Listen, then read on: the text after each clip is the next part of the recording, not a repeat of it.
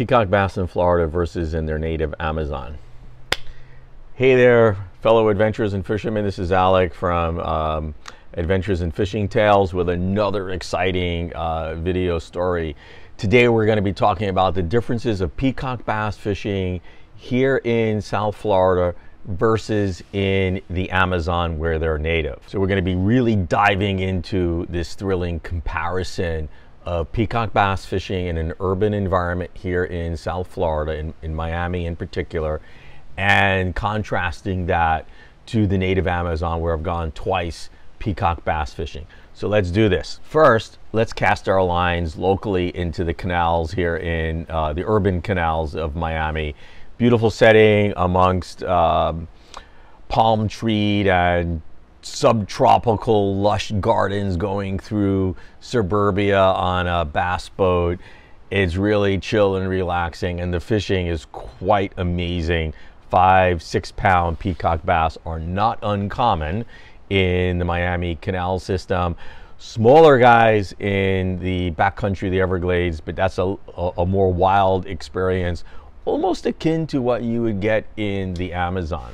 And, and fishing for uh, peacocks here in South Florida, you could target them on fly with top waters or live bait, little little tiny little tiny shiners. I, I prefer fly fishing uh, for them, but I've used I've done all three, and a lot of it is sight casting. You get to really see where uh, they're bedding if it's their uh, spawning season and a lot of sight casting for the peacocks here in South Florida.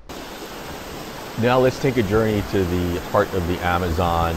The native home of peacock bass is about 16 different peacock bass species uh, in Brazil. I've caught about four or five of them.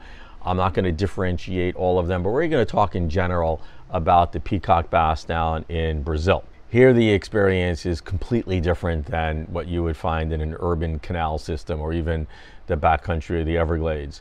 Uh, here it's wild, it's jungle, it is untamed.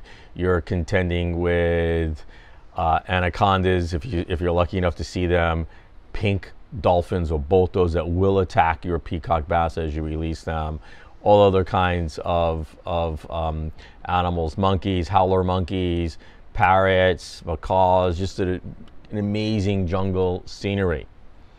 So it's a completely different ball game in the Amazon fishing for them as compared to an urban environment here that I mentioned. So how do these two stack up?